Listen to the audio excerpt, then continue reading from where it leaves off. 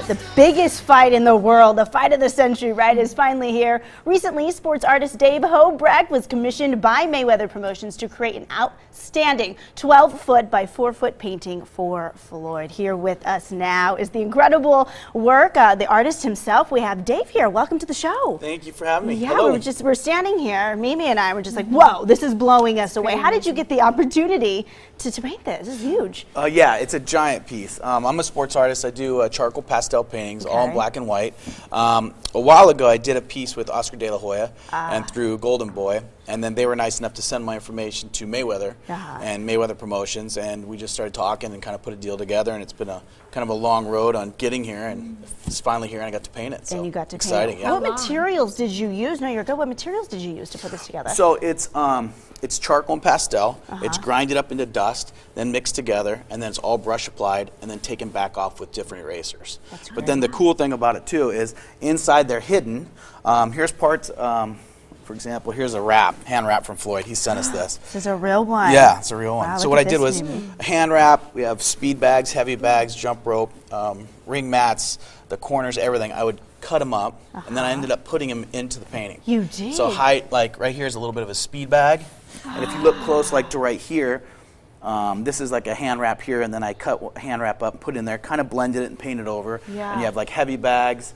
Um, the So ring 3D, I here. can see it's popping Yeah, out in some You can kind of see it now. Here's a corner And this is going to be on display at MGM Grand this weekend? It is. It's on display there. It's uh at a couple of spots. So um, it's at the Maypac store over at Fremont and Las Vegas Boulevard. So we have some a display over there selling our other um, prints.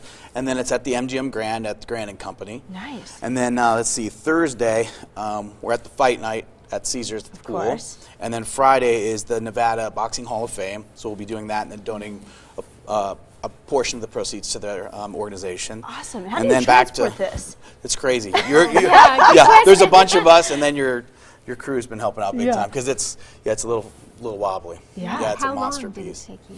It took me actually 650 hours, so a few months, you know. And Wow. I yeah, I kept going on it, and usually my pieces are like I don't know, like 30 by 50. So Yeah. doing something like this was giant. And Yeah. So kind of had to take my time, make sure everything was right. And And what's the value? Um, this piece here we're selling for 150 grand, and then we also have the different size prints. So, not for the original, we have Yeah. prints that are from hundred dollars. We have a five hundred dollar one, a thousand dollar one, and then even a ten thousand dollar print. So you have like a range for everybody for different How size can walls. people get a hold of that? Um, you could go to all the different spots, like I said, um, Hobrecht.com. Um, it's on Mayweather Promotions and a couple other spots, so all the different places. And we're going to be here, um, started a few days ago, and we're going to be here all the way through the 4th. That is incredible. And what's been Floyd's reaction, his camp's reaction to all of this? They love it. They love it. I, Floyd hasn't seen the painting painting itself. I know I've had to show them different things and like progress reports and that stuff. Yeah. And then he, they picked out some of the fighters I had to put in there and, and the end piece on the end where he's getting out of the the, um, the car. So I know there's been he's seen it, but not the big piece Yeah. yet. So I'm looking forward to hearing. And you've worked with other big A-listers, correct? Yeah. Who yeah. else? Um, we got a great opportunity to work with Derek Jeter this year for his final season, and we did a print series with him through uh, Steiner Sports, which was great. People from like Tony Hawk, Willie Mays was one of my favorites. Um, like a bunch of athletes, and there's a bunch of paintings that are non-athletic, like stars and Right. whatnot as well. Well, maybe he'll do Duck Dynasty one day. You never know. The Duck Yeah. Commander crew. That'd be that'd be great. That'd be great. All right, I'm Yeah, just I'm here, you know, making stories up. you can see Dave's one-of-a-kind work of art at MGM Grand all fight week long. This original 12-foot by 4-foot piece will be on display through May 3rd, like he mentioned. Several canvas prints will be available for purchase as well. For more on Hobrecht's sports art, visit the website or call the number right there on your screen. They were also on Facebook and Twitter, of course. Who isn't social? Still to come right here on Valley View Live. Reggae music at its finest. Morgan Heritage takes on our stage with a live performance. And next, has singer Jessica Simpson.